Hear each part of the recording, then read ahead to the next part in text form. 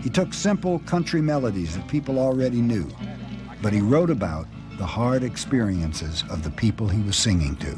I just blowed in and I got them Dust Bowl blues. He used no fancy language. It was, indeed, great ideas and words that the everyday person could understand. Buried my tractor six feet underground. Guthrie could write songs that Dust Bowl refugees understood because, like them, he knew what it was to lose everything. Woody Guthrie was born in 1912 in Okemah, Oklahoma, the third of five children. My dad, to start with, was worth about thirty-five or forty thousand dollars, and he had everything hunky-dory.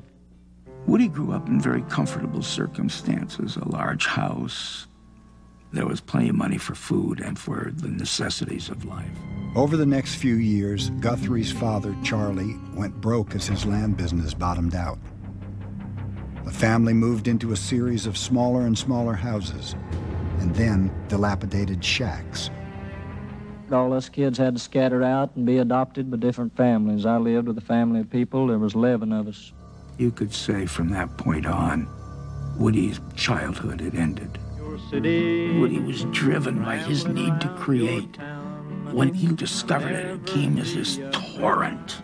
Take me riding in the car, car, take me riding in the car. Thousands of songs. Go to sleep, you weary hobo. Hundreds of drawings and paintings. I've been down and I've been out. I've been disgusted and busted and I couldn't be trusted. Tens of thousands of pages of prose. Woody Guthrie, in some ways, was a, a classic American character. He was the eternal teenager, scrawny, petulant, hilarious, angry, free. He's a good part of who we are, and it's a good part of why American popular music has become the most popular musical art form in the history of the world.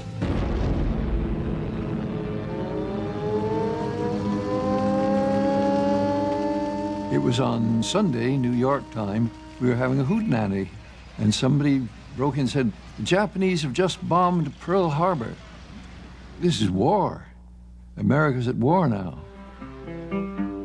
The Almanac singers, once passionately anti war, reversed their position. Guthrie slapped a sticker on his guitar announcing his new stance. He retooled some of his old songs and sang them at pro war rallies. He was a radical. His songs had a radical slant. The, ooh, you know, that's what I want to sing. I want to sing that. His memoir was published to rave reviews. The New Yorker wrote that Guthrie is a national possession like Yellowstone or Yosemite and part of the best stuff this country has to show the world. One guy said, Oh, uh, you're singing a Woody Guthrie song. He gave me a book that he wrote called Bound for Glory, and I read it. I identified with Bound for Glory book more than I even did with On the Road. These songs sounded archaic to most people. I don't know why they didn't sound archaic to me. They, they, they sounded like they, these songs were happening at the moment. The music is at the core of what it means to be an American. And as long as there are Americans out there, somebody's going to be singing that stuff, you know? And uh, uh, that's the way it ought to be.